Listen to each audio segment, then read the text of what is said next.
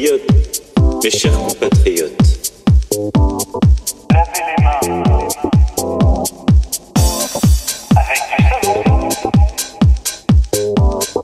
Ces fameux gestes barrières contre le virus, elles sont aujourd'hui encore trop peu appliquées.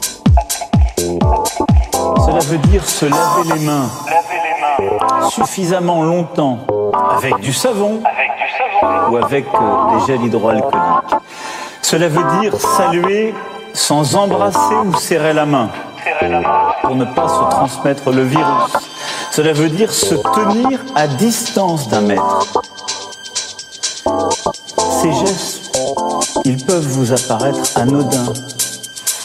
Ils sauvent des vies. Des vies. Des vies.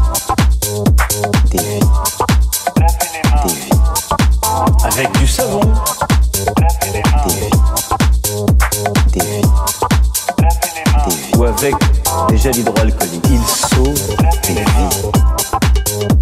Des vies. L'Europe réagira avec du savon. Des restaurateurs, des commerçants, des restaurateurs, des commerçants, des restaurateurs, des commerçants. Chacun a son rôle à jouer. Des artisans, des hôteliers, des artisans, des hôteliers, des artisans, des hôteliers. Chacun a son rôle à jouer. Les équipes sont également à pied d'œuvre pour inventer un vaccin. Il ne pourra pas voir le jour avant plusieurs mois. Mais il est porteur de grands espoirs. Il est porteur de grands espoirs. Il est porteur de grands espoirs.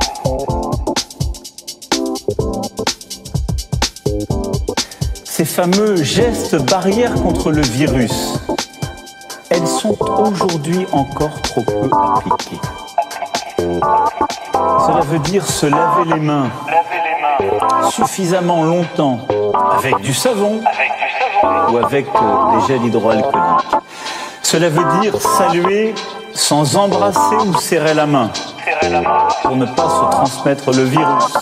Cela veut dire se tenir à distance d'un mètre. Ces gestes, ils peuvent vous apparaître anodins.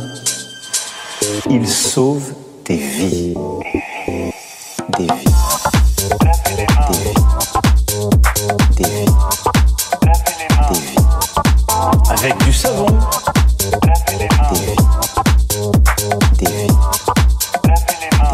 Avec des gels hydroalcooliques. Ils sauvent des vies.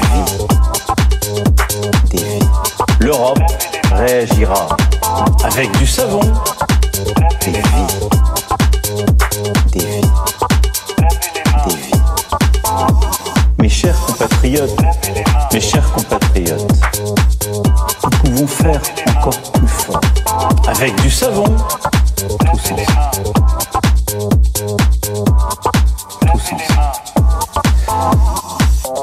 Compte sur vous, toutes et tous, pour faire du savon